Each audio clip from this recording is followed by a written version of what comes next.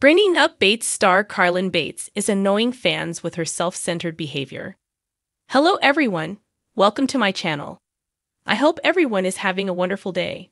Before starting the video, please go ahead and hit the subscribe button and give this video a like up. But why? One of her recent social media posts has caught her followers' attention for all of the wrong reasons. What did she post, and how are fans reacting? Keep reading to find out why her followers think she's so self centered and self absorbed.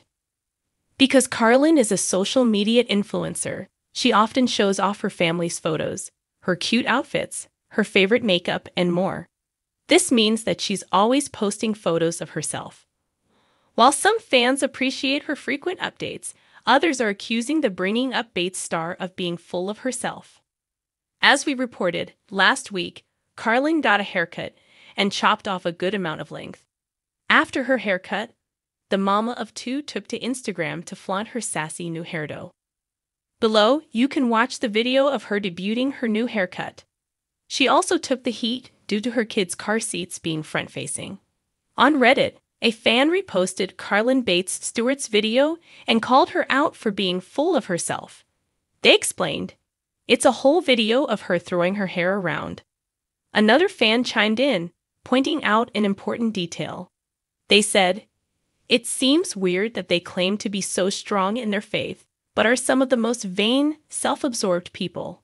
Someone else got the vibe that Carlin might actually be insecure because she's often seeking approval via social media.